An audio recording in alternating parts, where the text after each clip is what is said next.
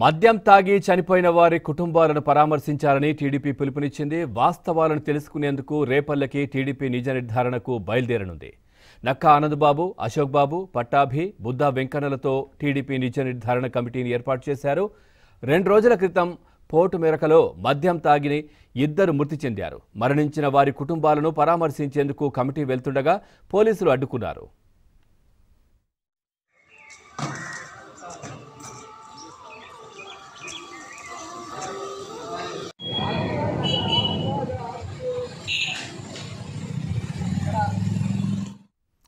ఇక ఇటు రేపల్లెలో టీడీపీ ఎమ్మెల్యే అనగాని సత్యప్రసాద్ను హౌస్ అరెస్ట్ చేశారు. గుంటూరులో నక్క ఆనందబాబును గృహ నిర్బంధం చేశారు.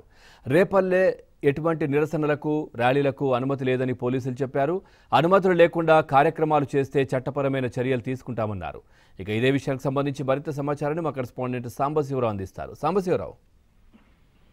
పవన్ బాపట్ల జిల్లా రేపల్లె మండలం పోటు మేరకులో మద్యం తాగి ఇద్దరు మృతి చెందిన ఘటనపై ఈ రోజు టీడీపీ నిజ నిర్ధారణ కమిటీ కోటు మేరక గ్రామానికి వెళ్ళేందుకు సిద్ధమైంది. అయితే కోటుమెరక గ్రామానికి టీడీపీ నిర్ధారణ కమిటీకి అనుమతి లేదంటూ కూడా పోలీసులు అనుమతి నిరాకరించారు. ఇప్పటికే రేపల్లిలో టీడీపీ ఎమ్మెల్యే అనగాని సత్యప్రసాద్ గుంటూరులో మాజీ మంత్రి నక్కా ఆనందబాబు విజయవాడలో బుద్ధా వెంకన్న అశోక్ బాబు పట్టాభిలను కూడా ఇప్పటికే గత రాత్రే పోలీసులు హౌస్ అరెస్ట్ చేయడం జరిగింది. పోటుమెరక గ్రామంలో ఒక ఫంక్షన్ జరిగిన నేపథ్యంలో అక్కడ ప్రభుత్వ వైన్ షాప్లో కొనుగోలు చేసిన మద్యం తాగి ఇద్దరు మృతి చెందగా మరొక నలుగురు అస్వస్థత గురి ఆసుపత్రి పాలైన సంఘటన జరిగింది. దీనిపై నిన్న అక్కడ ఉన్న మాజీ మంత్రి ప్రస్తుత ఎంపీ మోపిదేవి వెంకటరమణ కూడా ప్రభుత్వ ఆసుపత్రుల కుటుంబాలను పరామర్శించిన సమయంలో కూడా అతను మద్యం తాగటం వల్ల ఈ దుర్ఘటన జరిగిందని ఒప్పుకుంటుంటే మరోవైపు మీడియా పైన ప్రతిపక్షాల పైన ఆయన తీవ్రమైన విమర్శలు చేయడం జరిగింది. అయితే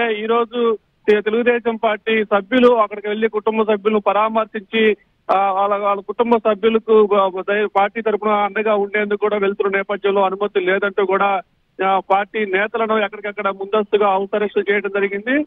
ఆ రేపల్లె పట్టణంలోనూ ఆ, రే- అనగా సత్యప్రసాద్ ఇల్లు ఆఫీసుల వద్ద భారీ స్థాయిలో పోలీసులు మోహరించి కనీసం మీడియాను సైతం రేపల్లె అనగా సత్యప్రసాద్ కార్యాలయం వద్ద కూడా వెళ్ళేందుకు అనుమతి లేదు.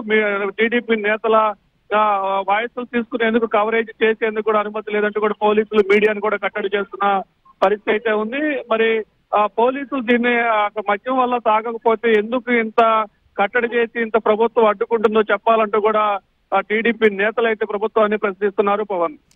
Thank you Sambasivarao thanks for the updates